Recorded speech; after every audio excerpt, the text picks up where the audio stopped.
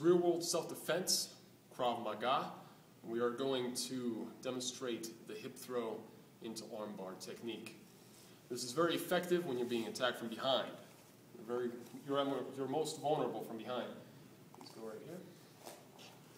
So, big, I'm strong, I'm right here.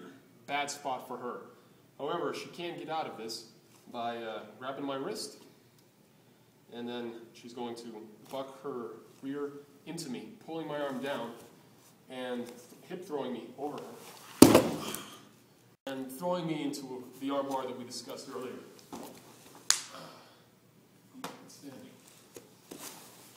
So full speed, it look like this.